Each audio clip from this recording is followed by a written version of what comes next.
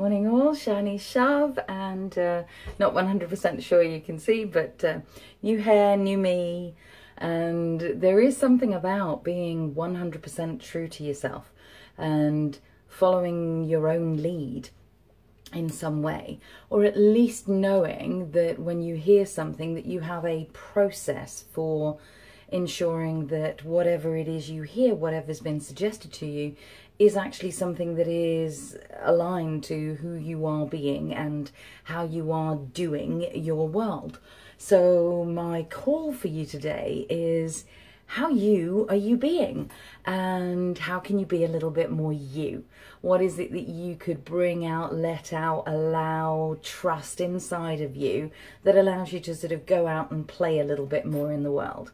My version of that was a um, yeah, was a haircut yesterday, oddly enough, um, which just allowed me to feel that little bit lighter.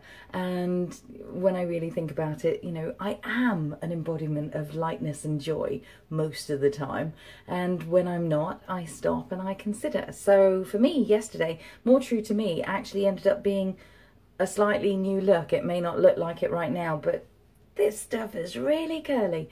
Um, so that's my call for you. How can you be more you today? And how can you make sure that whatever comes at you, you're still responding from a place of you um, rather than taking on somebody else's viewpoint in the world and then it not quite fitting right for you?